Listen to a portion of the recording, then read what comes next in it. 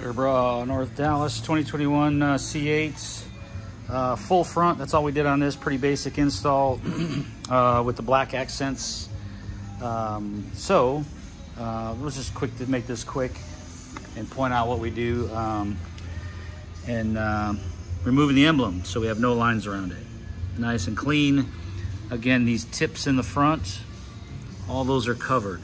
The film is wrapped all the way around. I see so many where installers are blocking these out, meaning the it's the film, they cut it out so they can captivate the corner.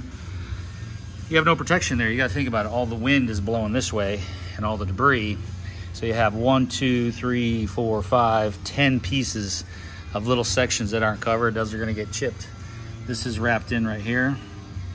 That's gonna get hit. This is wrapped in right here above the headlight. That's gonna get hit by debris. So I don't know why you would have your termination point right here on the top. But teach their own. You wanna damage your paint, fine by me. It defeats the whole purpose of having the, the film, but whatever. So uh, coming down here, uh, all wrapped in. All these little black pieces got wrapped in. Um, obviously all this is one piece, the, the bumper coming around the hood, fully, fully wrapped in.